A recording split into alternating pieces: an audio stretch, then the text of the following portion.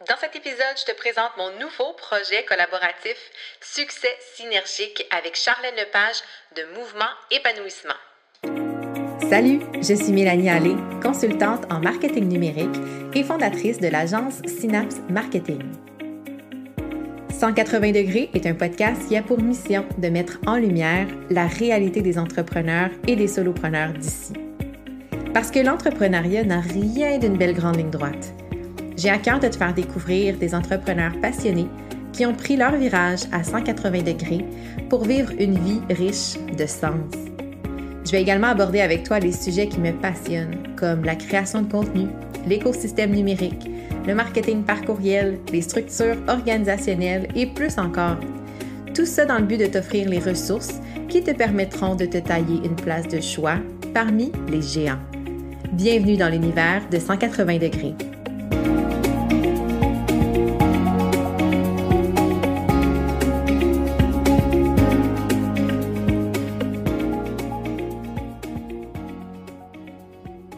Bonjour et bienvenue dans cet épisode commun où on joint nos deux univers.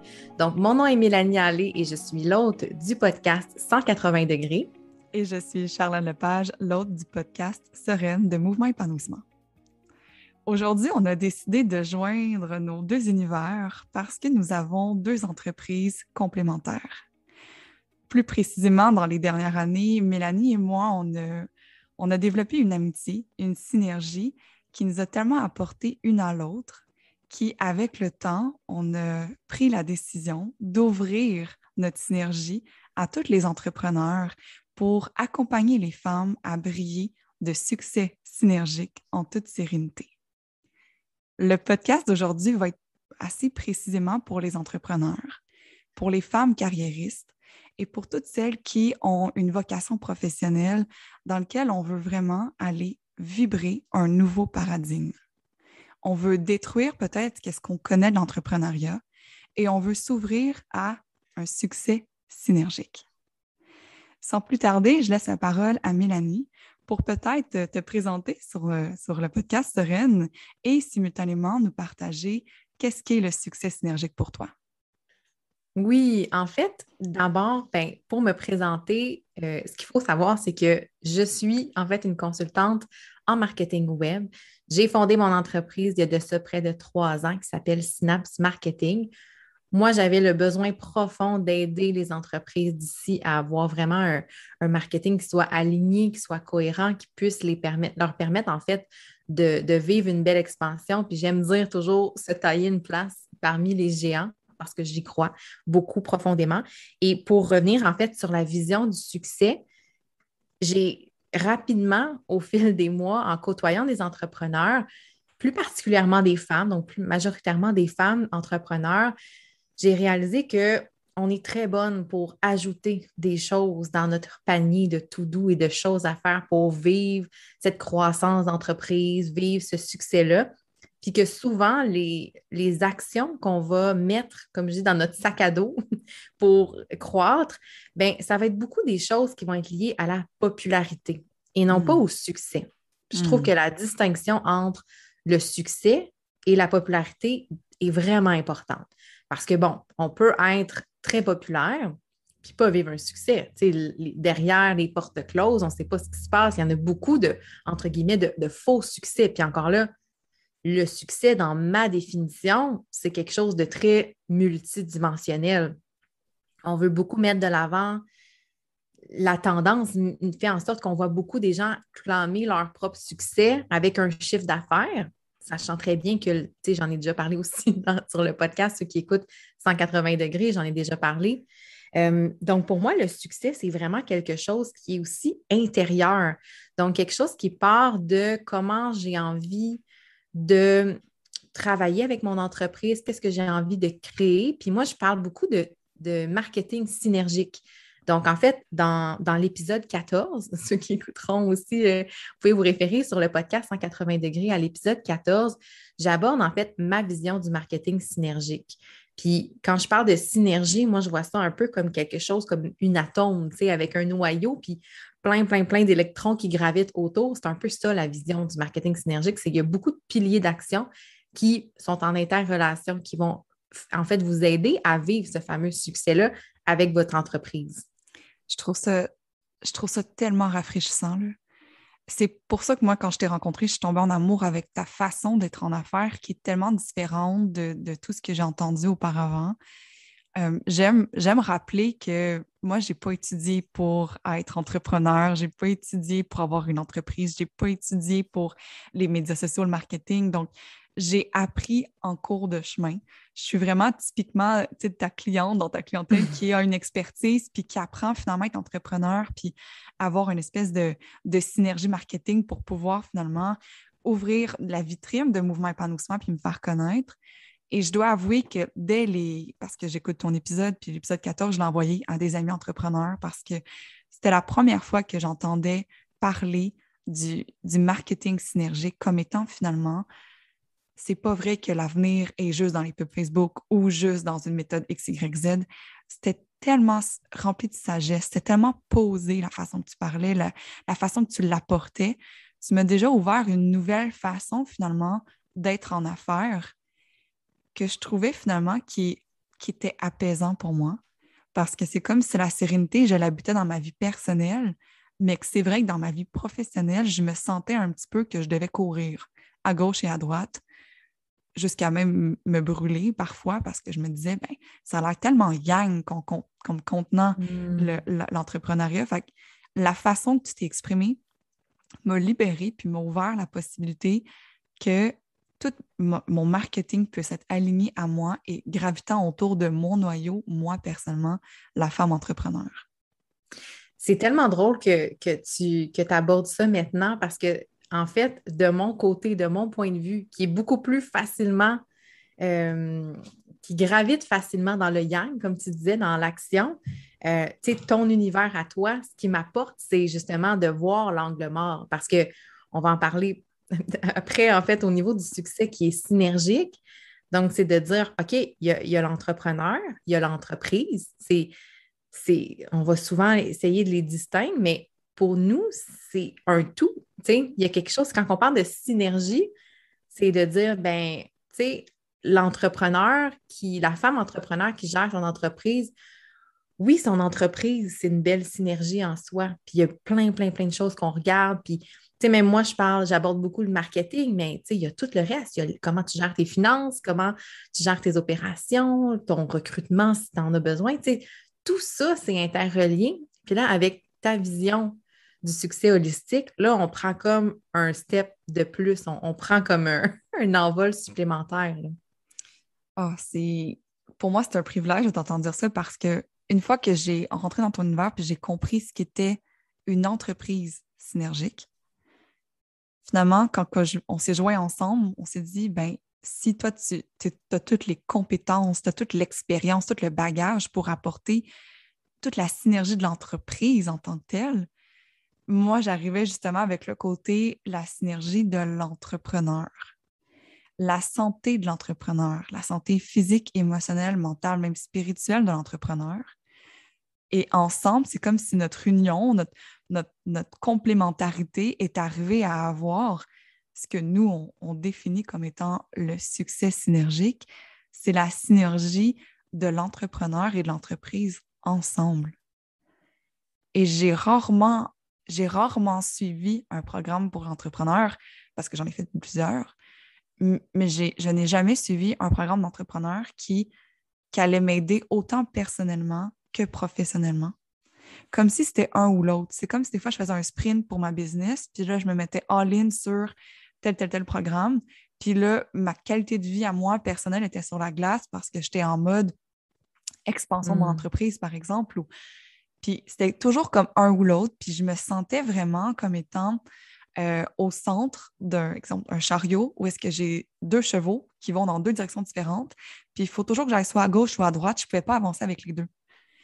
Et c'était comme un tiraillement constant parce que on a des discours comme, on entend des discours du genre, euh, il faut que tu donnes tout, puis que tu sois euh, fait des sacrifices. Puis j'étais, OK, oui, je veux, mais c'est comme un univers que je connais pas, l'entrepreneuriat, et que j'ai appris à connaître, puis que finalement, je me suis rendu compte que ben, c'est vrai qu'il y a plein de chemins vraiment yang. C'est vrai qu'il y a plein de chemins où est-ce que tu peux faire des gros, gros chiffres d'affaires vraiment rapidement, mais c'est souvent au détriment de soi-même.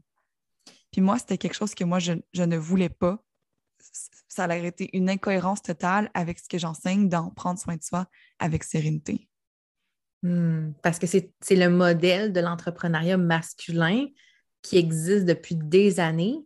Puis on le voit par, par les femmes qui vont en entrepreneuriat, il y a quelque chose de différent, mais on n'a pas de modèle vraiment par rapport à cette vision-là. Puis c'est pour ça de dire, ben nous, on se rend compte qu'il y a quelque chose qui ne fonctionne pas.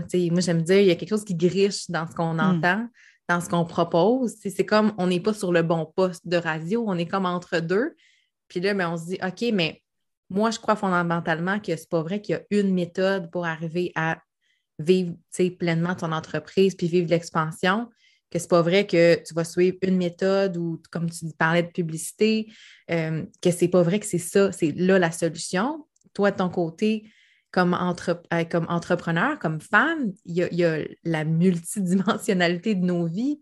Il y a, en tant que femme, on a une réalité aussi qui est un peu différente, la charge mentale, s'occuper des, enfants, des lunchs, il y a vraiment quelque chose de hmm. l'ordre de, de cette... Euh, de cette synergie justement entre les deux. Puis j'ai jamais, moi non plus, entendu parler de comment on peut, comme entrepreneur, s'assurer que notre vie de femme soit euh, sereine et, épanouissante.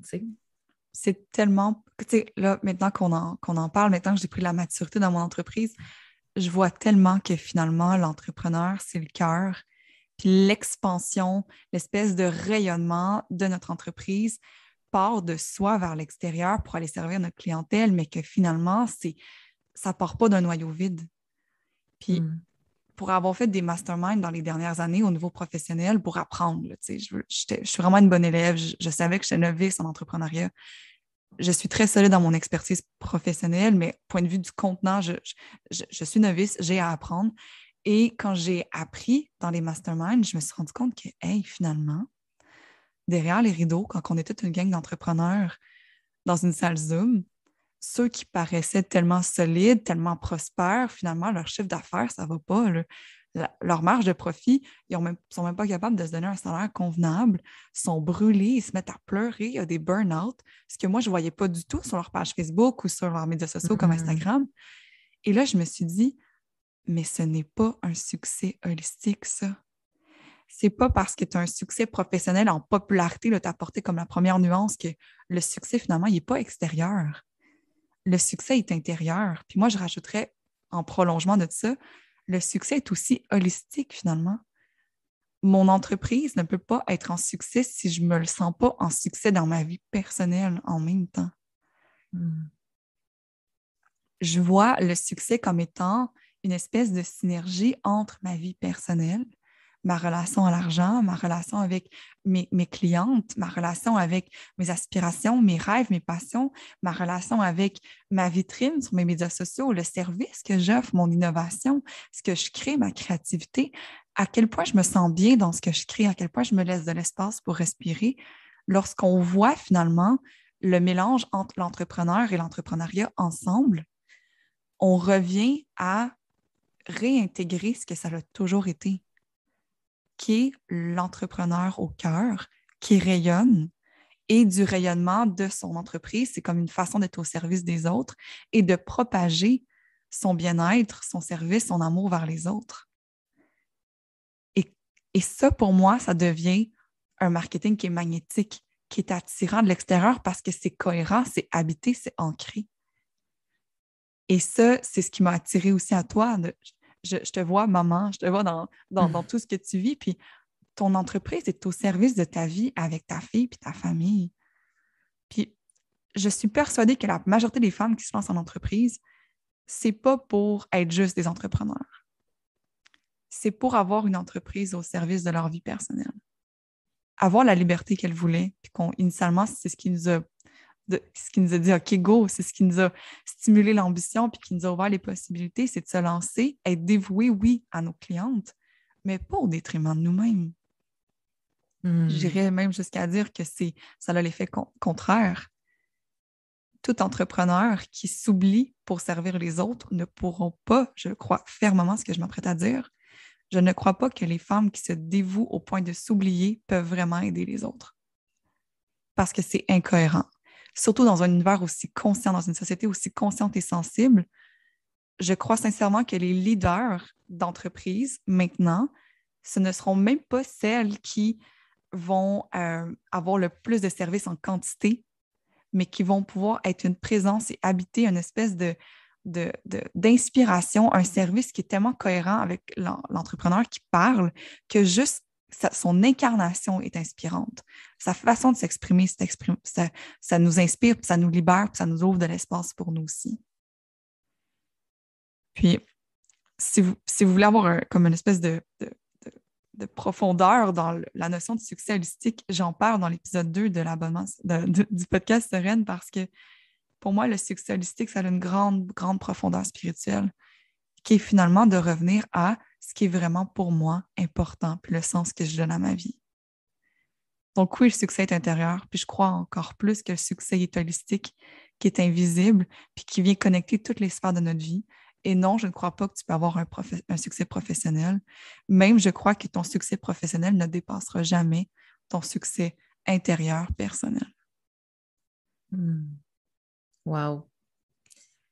Tellement, tellement, c'est si bien dit, Charlène. Puis tu sais, dans, le, dans notre vision à nous commune du, j'allais dire, tu vois, du marketing synergique, moi aussi, je, je dans nos visions du succès synergique, c'est que il y a, encore une fois, il y a comme plein d'aspects à la vie qui, ensemble, co-créent notre réalité. Puis je pense que c'est important de le voir pas comme des blocs séparés, comme tu l'as dit, que l'un est au service de l'autre. Euh, parce que être ambitieuse puis vouloir réussir, ça ne veut pas dire de faire des sacrifices sur des choses aussi fondamentales que de prendre soin de soi puis d'être là pour sa famille. c'est là où, pour nous, on voit cette synergie-là, entreprise, entrepreneur, mais toute la notion aussi de, de servir, donc toute la notion du service, qu'est-ce que j'ai envie de créer, comment j'ai envie de rayonner, c'est quoi le message qui est vraiment profond au fond de moi que j'ai envie de livrer? Parce que on peut créer une entreprise, connaître un succès financier, mais c'est comme un peu une coquille vide. Mm. Mais nous, on n'adhère pas à ce genre d'entreprise-là parce que, comme tu l'as dit, il faut qu'il y ait quelque chose qui émane de tout ça. Il faut qu'il y ait un sens faut qu'il y ait un sentiment d'accomplissement. Puis ça, ça passe par la mission que tu te donnes comme entrepreneur, puis ce que, ce que tu as envie, justement, comme je disais, de rayonner. Puis, ah, excuse-moi, parce que tu m'as amené, tu as dit coquille vide, ça m'a amené une image.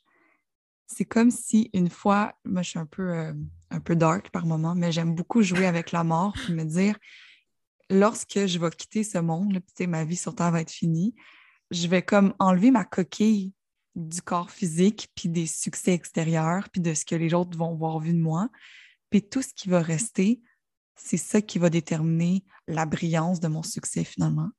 Hmm. Comment je me suis sentie, puis comment est-ce que j'ai réussi à ce que mon entreprise reste alignée au service de mon cœur, puis faire vraiment un impact, une réelle différence, servir vraiment les, les, ma clientèle que j'aime d'amour, puis que je veux accompagner, mais en étant consciente que mes clientes, c'est une partie de moi, puis c'est en prenant soin de moi que je peux prendre soin d'elle, puis leur enseigner à prendre soin d'elle.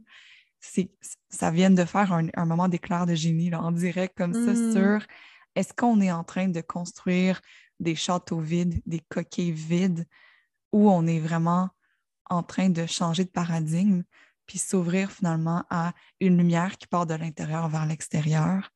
Je trouve ça complètement différent comme façon de concevoir l'entrepreneuriat.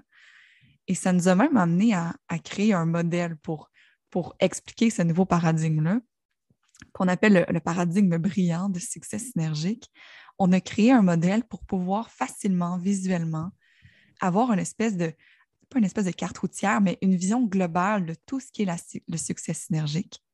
Et là, on a parlé du succès de l'entrepreneur, le succès de l'entreprise, est-ce que tu veux nous partager les autres facettes de notre modèle qui est en synergie? Oui, en fait, il y a la clientèle parce que justement, il faut s'assurer que ce qu'on fait, ce qu'on offre, c'est vraiment une vraie transformation, quelque chose qui va aider, contribuer à cette clientèle-là. Et tu sais, toi, tu vas le faire avec justement la santé, le succès holistique, comme tu l'appelles. Puis tu vas offrir à ta façon cette transformation-là. Donc, c'est vraiment important de ne pas juste. En fait, je pense que la différence entre notre vision, puis des fois, ce qu'on voit, c'est que quand le service se termine, ce n'est pas une fin en soi. Il y a quelque chose mm. de. Il y a quelque chose de collectif. On termine un appel Zoom avec une cliente, ce n'est pas la fin. Ce n'est pas mm. la finalité de ça, de ce qu'on offre. On offre une transformation, on répond vraiment à leurs leur désirs ou à leurs besoins.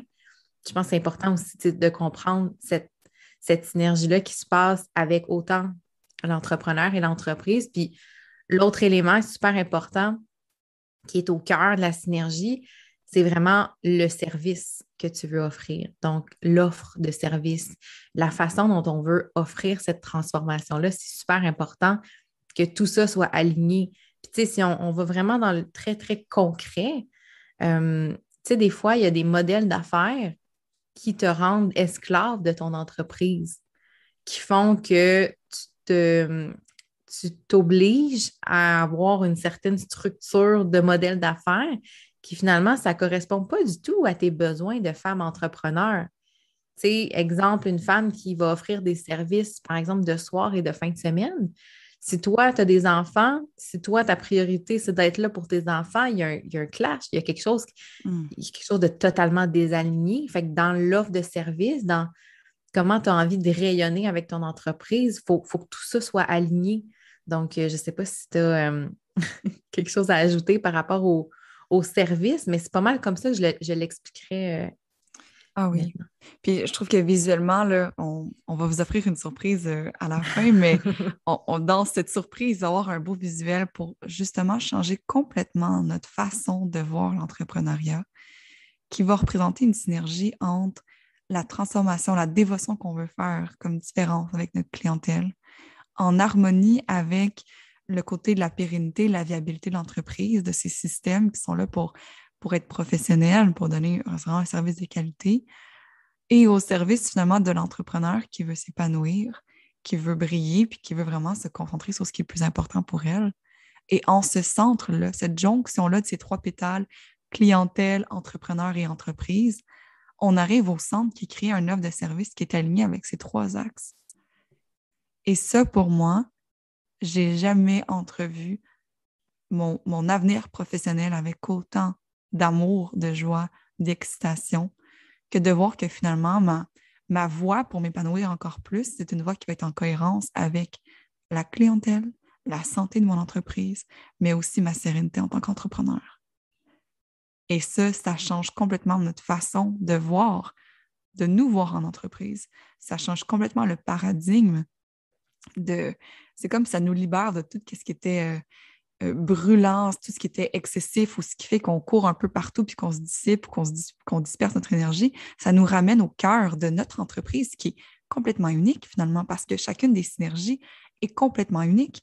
Et on ne pourra pas vous offrir euh, une formation spécifique pour trouver exactement comment faire en suivant notre étape parce que ça ne sera pas comme ça ce qui, ce qui est le cœur d'une entreprise consciente maintenant, aujourd'hui, ça va être une nouvelle ère. Et dans cette nouvelle ère-là, on va être appelé à aller découvrir le noyau unique de notre synergie. Et par la suite, quand on va toucher à ça, c'est de la faire rayonner vers l'extérieur pour la viabilité de notre entreprise, pour l'épanouissement de l'entrepreneur, puis pour la transformation client qu'on veut aller apporter. Oh, je, pourrais en parler pendant des heures. je vois que le temps file. Puis, je voulais faire l'épisode avec toi aujourd'hui, surtout pour une belle offrande qu'on se prépare à offrir à toutes les femmes et hommes qui veulent réévaluer peut-être la synergie de leur entreprise, aller refaire circuler un petit peu l'énergie du succès dans leur entreprise, puis vraiment faire une évaluation consciente des différentes pétales de leur entreprise pour avoir une nouvelle vision de la synergie propre et unique à chacun et chacune à travers un atelier gratuit qui s'appelle Succès synergique que nous allons animer en direct mercredi le 6 octobre sur l'heure du dîner. C'est gratuit, vous n'avez qu'à vous inscrire pour pouvoir obtenir le lien Zoom et être avec nous. Je mets déjà aussi euh, l'eau en, bouche parce que nous allons, dès la semaine prochaine, faire une série de lives sur nos pages Facebook, sur Instagram. Ça va, ça va être de plus en plus vu jusqu'à l'atelier. Puis je vous invite vraiment à, si vous êtes entrepreneur, vous avez un projet d'entreprise, quelque chose qui vous tient à cœur, qui vous dit, oui, j'adore mon, mon emploi, mais j'aurais envie de lancer ça sur le côté ou j'ai envie d'être dans mon entreprise, être plus solide, être plus sereine ou vivre une expansion, mais une expansion alignée, je vous invite vraiment à entrer dans notre univers. On va vous border jusqu'au 6 octobre dans un nouveau paradigme pour nous permettre de briller de synergie, de succès synergique pour pouvoir finalement rayonner d'amour et de joie dans sa vie personnelle et professionnelle. Oui, c'est tellement une belle invitation qu'on vous fait dans l'épisode. Et pour vous inscrire dès maintenant, je vais vous donner aussi le lien pour accéder à la page d'inscription. Donc, euh, ça se fait au bit.ly, donc .ly, euh, barre oblique succès synergique, pas d'accent, tout collé ensemble. Donc, bit.ly barre oblique succès synergique tout ensemble. Donc vraiment, là, je suis super excitée parce que je dois avouer qu'on est très, très fiers du contenu qu'on a créé hmm. pour cet atelier-là. Euh, fiers autant du contenu que du contenant. Euh, on s'est beaucoup amusé dans, la, dans toutes les étapes de création de cet atelier-là. Et c'est une belle façon pour nous de, de vous faire goûter, de vous partager en fait cette vision-là. Donc, clairement, si ça vous parle, euh, ce qu'on a discuté aujourd'hui dans l'épisode, vous allez en avoir euh, plein la vue dans, l'atelier du 6, 6 octobre. Hmm. Puis même si vous écoutez l'épisode en rediffusion, puis on a passé la date du 6 octobre, honnêtement, ce qui est partagé, ce qui est ouvert comme nouveau paradigme, c'est intemporel. Je sens hmm. vraiment que c'est une marque qui va délimiter l'ancienne façon d'être en affaires et la nouvelle. Et si moindrement, il y a une zone d'expansion que vous ressentez dans votre entreprise, dans votre vie personnelle, dans la création de votre entreprise ou son expansion, s'harmoniser avec le succès synergique est pour moi, honnêtement, la voie la plus intelligente pour pouvoir briller de succès holistique et de sérénité à travers notre épanouissement personnel et professionnel. Hmm, c'est beau. Donc, c'est vraiment un beau rendez-vous. On est très hâte de vous voir euh, le 6 octobre prochain. Merci Mélanie d'avoir fait ce, beau épisode commun ensemble. J'ai adoré. Oui, merci à toi Charlène et merci à tout le monde euh, qui vient de découvrir euh, nos podcasts respectifs. merci d'avoir été avec nous. On vous souhaite une belle journée. Bye. Si tu aimes le podcast 180 degrés, eh bien, je t'invite à aller laisser un commentaire sur la plateforme Apple Podcast. Donc, tu peux laisser ton commentaire ainsi qu'une note de 5 étoiles si tu as aimé entendre aujourd'hui l'entrevue, en fait, la discussion plutôt avec Charlène.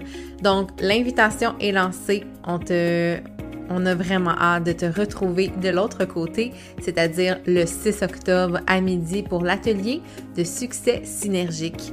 D'ici là, si tu veux avoir encore des doses d'inspiration, des conseils, des astuces, je t'invite à joindre le groupe Facebook Le Marketing Web à votre portée. J'y donne plein de conseils et je fais un live euh, aux deux semaines pour vous présenter en fait des notions, vous donner des conseils pour vous aider à gérer votre marketing de la bonne façon, en fait une façon synergique évidemment. Donc, bye tout le monde et bonne semaine.